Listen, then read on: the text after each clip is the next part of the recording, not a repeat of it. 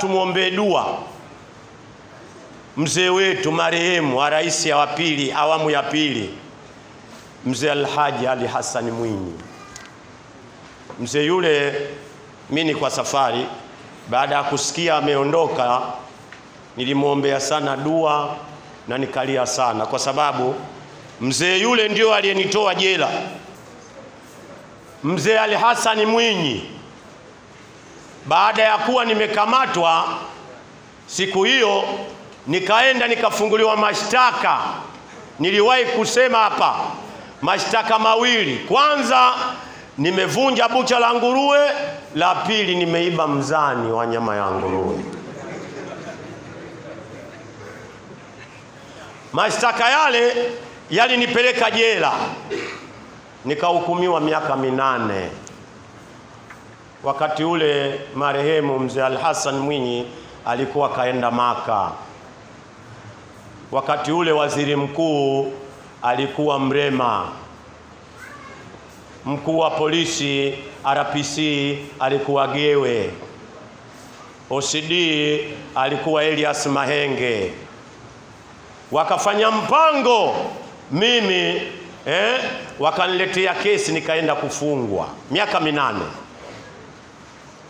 Alhamdulillah, mzee aliporudi akaambiwa, wakati nilikuwa bado kijana, unajua. Kwa bado kidogo kijana. Sasa hivi na 64 Othman Mike. 64 sasa hivi usinione 64 siku anakufa Karume mimi ndo nafanya mtihani wa darasa la saba mwaka sabini na mbili. We hujazaliwa. Hajazaliwa huyu bado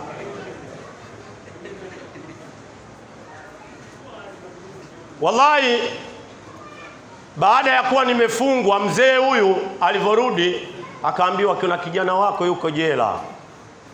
Akaambia basi mwache kwanza apate suna ya Nabii Yusuf, alafu nitamtoa kule jela. Nimeenda kukutana na mtu mmoja alikuwa mbunge wa Songea anaitwa Abdurabi. Kama mnakumbuka wazee wangu, yule mbunge wa CCM aliwahi kukamatwa na meno ya tembo akafungwa mwaka 1988 ndio nikaenda nikamkuta pale katika jela ya Maweni Tanga. Wallahi Sheikh Osman Michael, sisi tunapita na umri unakwenda, lakini kiama watu mtakuwa mashahidi.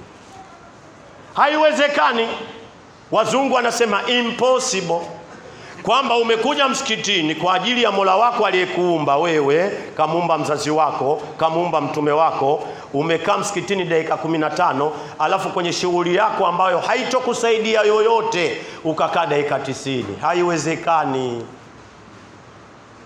Ndio maana muda wetu si tunamalizia huko. Kwa hiyo leo nitaomba nyinyi nyote mliobaki katika msikiti huu tusome ikhlasi tatu kumwombea mzee Alhaji Al Hasani Mwinyi.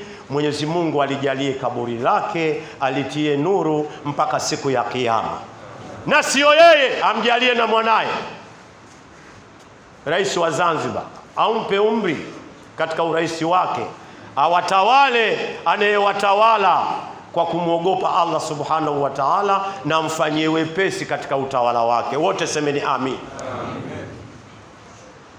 La mwisho tutafanya dua hapa leo, sisemi sana, nitatafuta Ijumaa na Othman Michael, nitakwambia uje hapa nikwambie huko nilikotoka mabalaa yaliyonikuta. Usifanye mchezo na kufa. Nimekwenda mji huu umepigwa bunduki, nikaomba niondoke siku hiyo hiyo. Si mchezo, si mchezo. Na sisi sote hapa hapa, sisi sote ni maiti watarajiwa. Sijui tu nani anaanza, anaweza akaanza imamu. Imamu nimetoa mfano tu, au anaweza akaanza mmoja wenu, sijitolei mimi kwa sababu najua, au akaanza Osman Michael, e, mimi nikawa mwisho.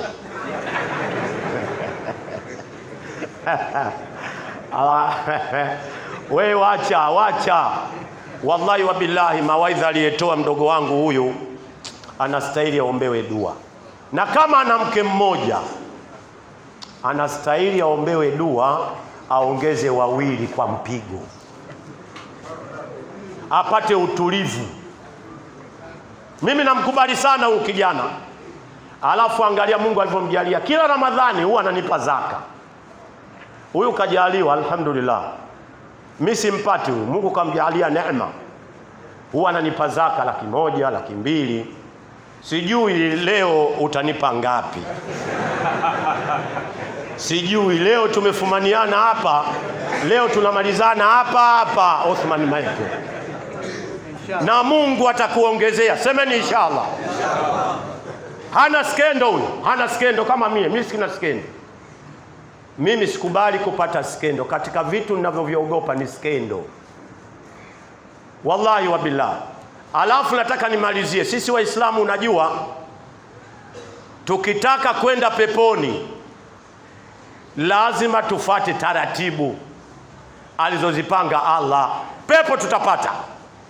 Tukiacha taratibu alizozipanga Allah pepo hatupati. Ndio aliyekuwa anaongea huyu. Mfumo taratibu tabia. Mungu amesema tufate Qur'ani tufate na Sunna kwa mfano muuza unga hapana. Mvuta unga mvuta bange. Hafungi Ramadhani. Amefua koti lake.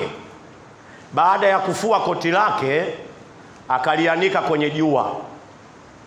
Alafu imam anaswali anaswali anafunga anaswali mara tano hapiti kipindi.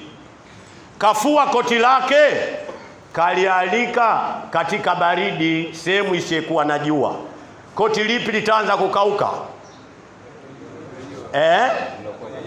Eh, lililoanikwa na mvuta unga kwa sababu amefuata taratibu. Ili nguo ikauke ianikwe juani. Na wewe ili upate pepo fata taratibu ufate kanuni. Ufunge umwabudu Allah utoe sadaka. Hata zaka sawa una? Sadaka toa. Ni taratibu ambazo Allah ametuwekea.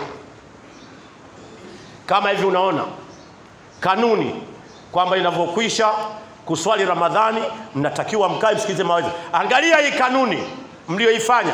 Ni kanuni ambayo siku ya kiama wallahi wa billahi, utashangaa utasema hivi, Allah leo ndio unanilipa mimi, nimemaliza kusikiza mawaidha nikaswali nikakaa, malipo yake ndiyo haya? Anakwambia ndiyo, kwa sababu kuna vitu itaka kuvifanya, lakini ukapoteza muda kwa sababu yangu. Kanuni na taratibu